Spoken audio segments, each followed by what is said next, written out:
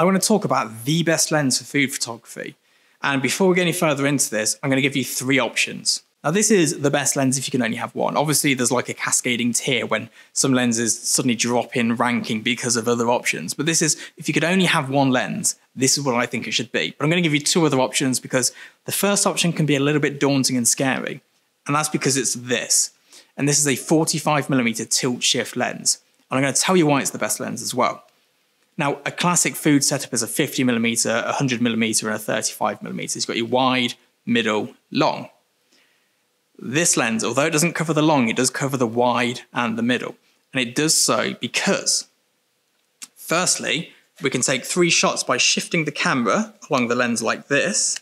And from the same position, this 45mm lens will give you a 24mm perspective, which is very useful. I've used it a lot on big shoots where we've turned up somewhere and the ceiling's a little bit low.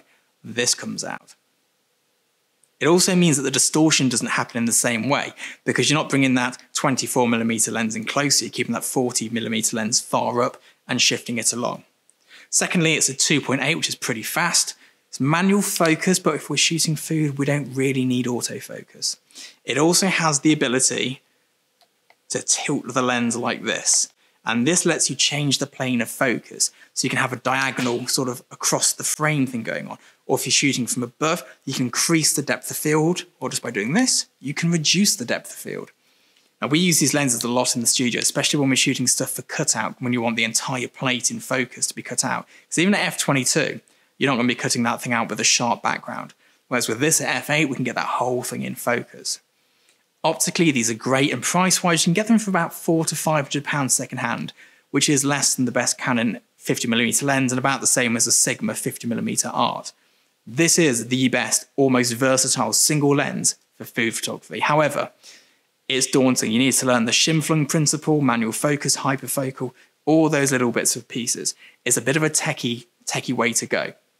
However, it doesn't take you that long to learn it, and the possibilities that a lens like this creates are huge. So this is what I'd recommend, but I fully understand if you're a bit scared to do that, in which case I'm going to give you two other offerings that are great food photography lenses and explain what style of food photography they'd work best for. Now I'm going to start off with a lens that I use for almost everything. My entire portfolio is shot with this. This is a 100 millimeter. Now it's not actually a macro lens anymore, but it focuses very close. The previous version of this was. This is the Zeiss Milvus Planar.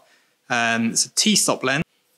It's a beautifully made lens, this one is. You don't have to buy this one. The Canon L version is great. The Canon Goldring version is great. And I'm sure Sigma, Sony, or whoever else, Nikon, make them, make great ones too. It's more the focal length.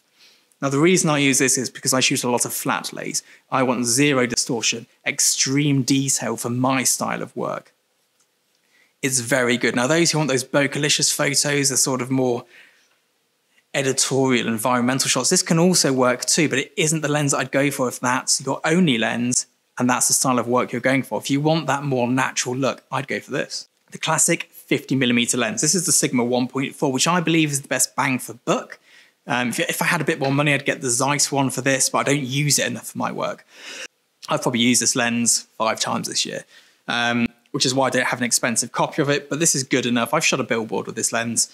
It's a 1.4 from about 1.6 onwards. It's great. And if you want that gooey bokeh, if you want that environmental look, if you want that really like natural look that's very popular in food magazines, this is the lens for you. I'd still choose the 45mm over both of them if I was going to have just one, but I understand why people don't do that.